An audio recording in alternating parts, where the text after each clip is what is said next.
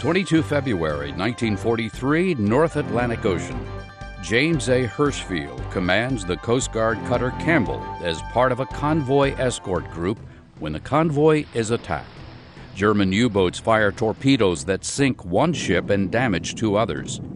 During the ensuing battle, Hirshfield's cutter engages six U boats, forcing them to submerge and damaging at least two. His crew then rescues 50 survivors from a torpedoed Norwegian tanker. As he rejoins the convoy, another U boat surfaces up ahead. Hirshfield directs his crew to ram the enemy boat, which they do with a glancing blow. As the submarine slides past, his crew expeditiously drops two depth charges that fatally cripple the enemy. The two vessels are so close that Hirshfield is wounded by flying splinters from the explosion. Despite his injury, he remains in command throughout the action and subsequent period. Campbell sustains damage during the counterattack and is disabled by a flooded engine room. Hirshfield directs repairs as well as the rescue and capture of several prisoners from the U boat crew.